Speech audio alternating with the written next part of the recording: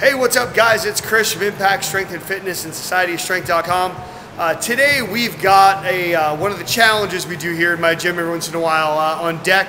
Uh, Don and I are going to hit this up. We got the thousand rep challenge. So instead of me running through it, this is what we got going on here. We got 100 push-ups, 100 swings, 100 squats, uh, which is body weight, snatch, burpees, high pulls, mountain climbers, figure eight swings, crunches, and goblet squats. That's a thousand reps, and you can get your thousand reps any way you have to.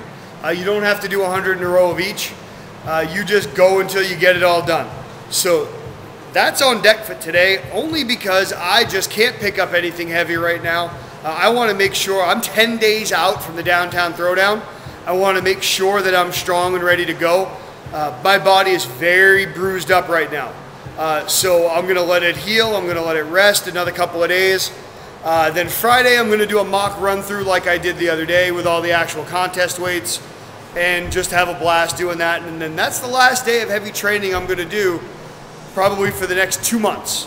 Uh, I'm just, my body is wrecked. I'm actually going to be doing uh, a product review for a friend. Uh, so if you see some really cool videos of some really cool programming, it's not my fault. I didn't do it. Uh, so stay tuned, check out this workout, and enjoy the ride.